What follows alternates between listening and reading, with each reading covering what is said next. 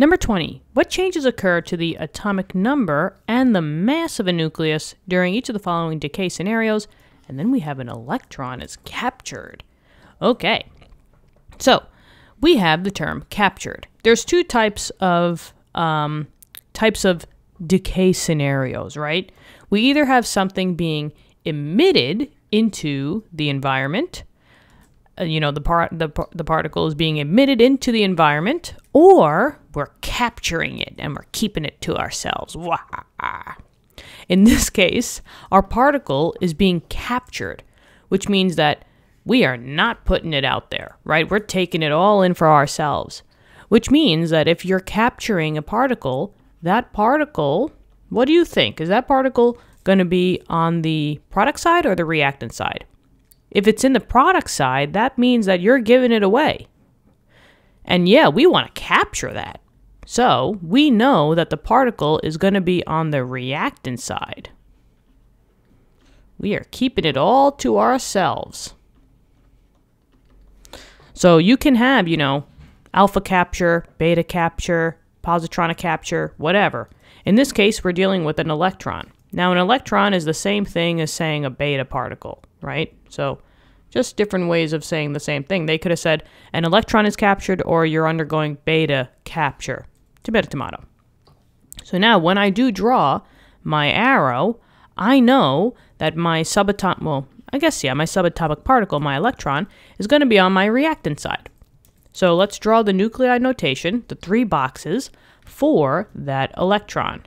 And I guess, since we're talking about it in terms of an electron, let's use the E, right? E for electron. If you want, you could put that beta there.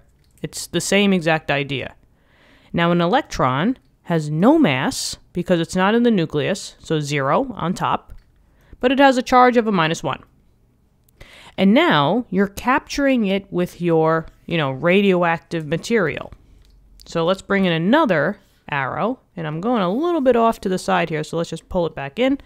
And we'll say that this is, you know, whatever the radioactive material is. And, I mean, just for these case and purposes, we can, you know, use whatever. I don't care, right? Carbon, and then we'll have a 14 on the top. Generally, that's the radioactive number.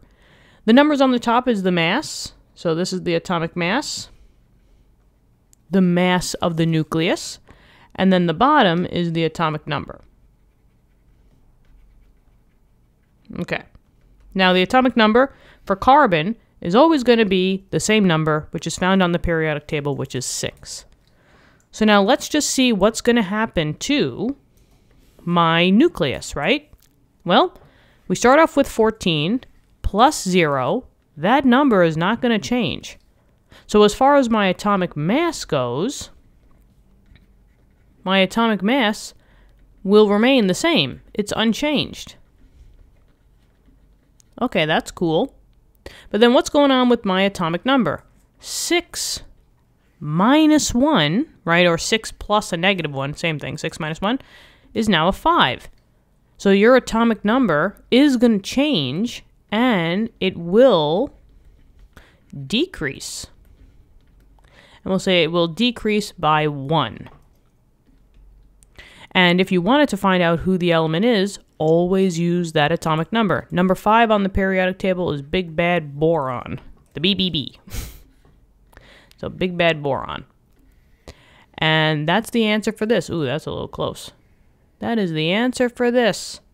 I hope this helped you out. Um, thank you so much for viewing the video. We got math videos on the channel. We got physics videos on the channel. My brother and I, we really do thank you so much from the bottom of our hearts. This channel would not be where it is without you guys. So I'm so glad that you're learning from this channel, and that we can give you great educational information. We just opened up memberships on the channel if you want to help us out a little bit more. We got big plans for this year, this upcoming school year, and we hope that, you know, we can pull through, and I think we will. I know we will. All right. But anyway, have a great day. Keep studying hard, and I'll talk to you soon. Bye-bye.